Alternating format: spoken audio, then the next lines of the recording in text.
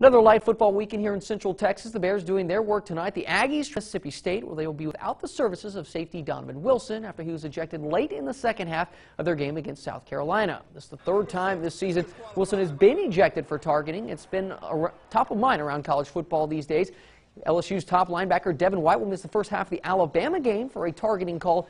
It's questionable against Nick Fitzgerald of Mississippi State. Coach Jimbo Fisher wanted to see some more uniformity when that is called. For the safety of the game, you have to do it. But the severity of some of these are very nitpicky to go miss, or you're missing that game, to go miss another half of the next game. I mean, I, I think that can be a little bit ridiculous in my point. And I mean, I think there's some that, that are very bad that I can understand that too. Maybe there's two levels to it. I don't, I don't have the answer, but I just see some someday from watching this weekend. Some that were called, some that weren't called, and I'm going, that is, well, that, wait a minute, I do this for a living. I'm, I know, I mean, you know what I'm saying? I, I don't understand what they look at sometimes.